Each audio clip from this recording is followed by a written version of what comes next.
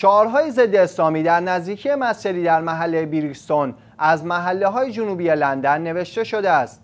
به گزارش شیوز به نقل از گاردین تحقیقات پلیس در این رابطه آغاز شده است. نیروهای پلیس تایید کردند که این شعارها بر روی دیوار ساختمانی نزدیک به مسجد و مرکز فرهنگی اسلامی واقع در جاده بیرستون پیدا شدند که توسط اسپری رنگ کشیده شده بودند.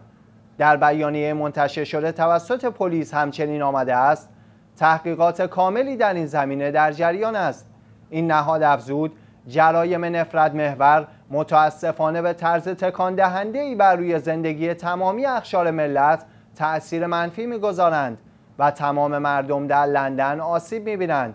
همه اعضای جوامع ما حق دارند بدون ترس از سوء استفاده کلامی جسمی یا کتبی به زندگی روزمره خود بپردازند و پلیس هیچ شکلی از تبعیض را تحمل نمی کند. ما متعهد هستیم تا حد ممکن با این قبیل جرایم مقابله کنیم.